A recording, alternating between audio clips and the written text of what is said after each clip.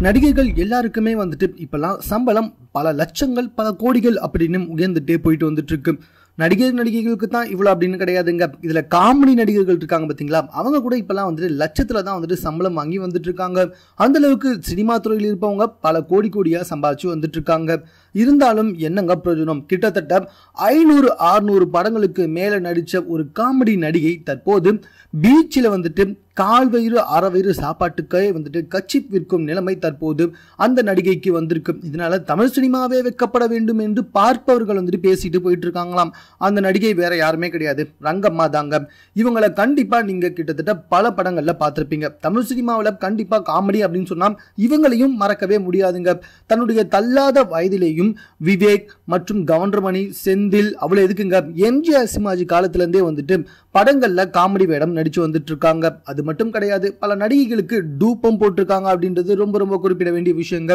வடிவேல் கூட வந்துட்டு பல காமெடிகளில் நடிச்சிருக்காங்க. வடிவேலுக்கு எவ்வளோ பேர் இருக்கோ அதே அளவுக்கு இவங்களுக்கும் ஒரு சில பேர் இருக்கு.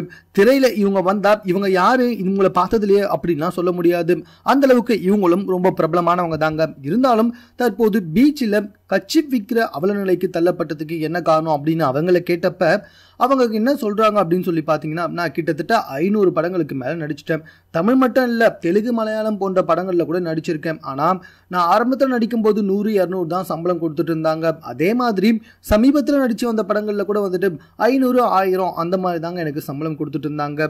ஐநூறு அறுநூறு படங்களுக்கு மேலே நான் நடிச்சிருந்தாலும் நான் சம்பாதிச்சது என்னவோ சொற்பந்தான். அப்படி சம்பாதிச்சதையும் என்னோட குழந்தைங்களுக்கே கொடுத்துட்டேன் அப்படின்னு சொல்லிட்டாங்க.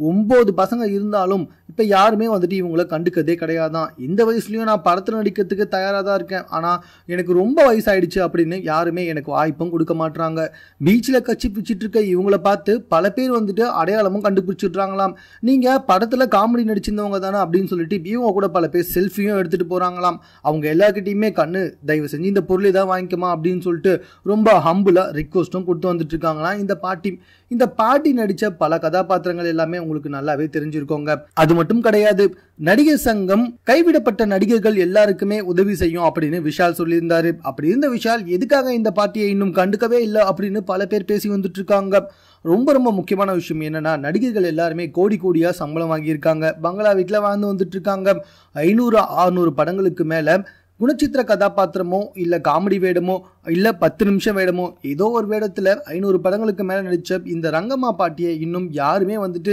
கண்டுக்கவும் இல்லை. இவங்களுக்கு யாருமே உதவி செய்யவும் தயாராக இல்லை.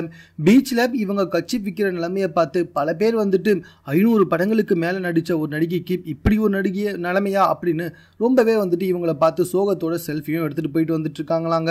தயவு செஞ்சு ஏதாவது ஒரு நடிகர்களோ அப்படி இல்லைனா கோடம்பாக்கத்தில் இருக்க ஏதாவது ஒரு தயாரிப்பர்களோ இந்த பாட்டிக்கு உதவுமாறு பல பேர் வந்துட்டு அந்த செல்ஃபி மூலமாக மூலமாகவோ இல்லை ஃபேஸ்புக் வீடியோ மூலமாகவோ இவங்க கூடவே லைவும் போட்டுட்டு போயிட்டு இருக்காங்களாம் இவங்களுக்கு உதவி கிடைக்கிற வரைக்கும் இந்த விஷயத்தை ஷேர் பண்ண சொல்லியும் பேசி வந்துட்டு இருக்காங்க மேலும் இது போல செய்திகளை உடனுக்குடன் தெரிந்து கொள்வதற்கும் எங்கள் சேனலை சப்ஸ்கிரைப் பண்ணுங்க. இது குறித்த உங்க கருத்துக்கள் எதுவாக இருந்தாலும் எங்களோட ஷேர் பண்ணிக்கோங்க.